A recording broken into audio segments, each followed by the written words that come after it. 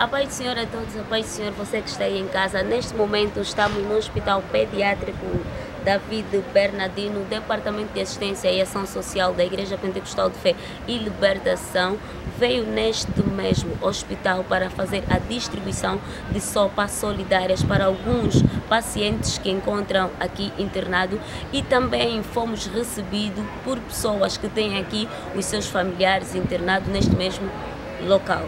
E quem vai falar para nós neste momento são dois membros do Departamento de Assistência e Ação Social. Acompanhe.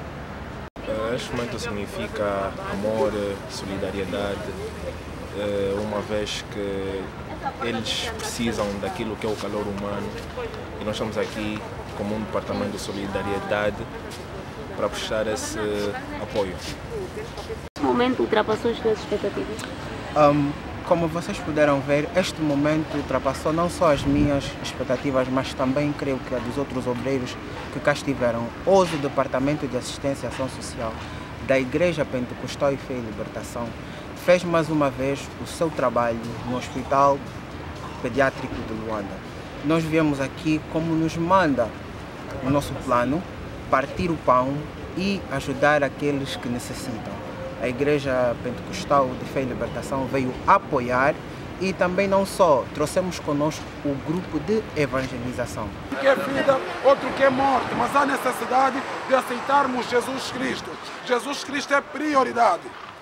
Jesus Cristo é aquele que tem poder sobre todas as coisas. É aquele que não faz menção. Jesus Cristo não te chama te pedindo dinheiro. Jesus Cristo te chama te pedindo o teu coração. Aceita Jesus como Senhor e Salvador suficiente aceita Jesus. A Bíblia nos declara no livro de João 14,6 e disse-lhe Jesus: Eu sou o caminho, a verdade e a vida. Ninguém vai ao Pai senão por mim. Jesus é o caminho, a verdade e a vida. Aquele, Jesus Cristo, Ele é teu defensor. Jesus Cristo é teu intercessor. Mas um dia Ele virá como juiz. O tempo é agora em que Ele te chama. Jesus Cristo é o teu defensor. Ele diz que ninguém vai ao Pai senão por Ele.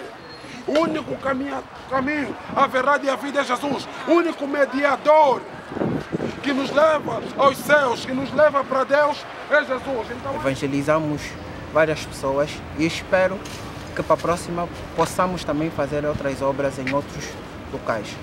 É desta feita que nós acabamos de ouvir os membros do Departamento de Assistência e Ação Social que deram o seu parecer sobre esta grande atividade.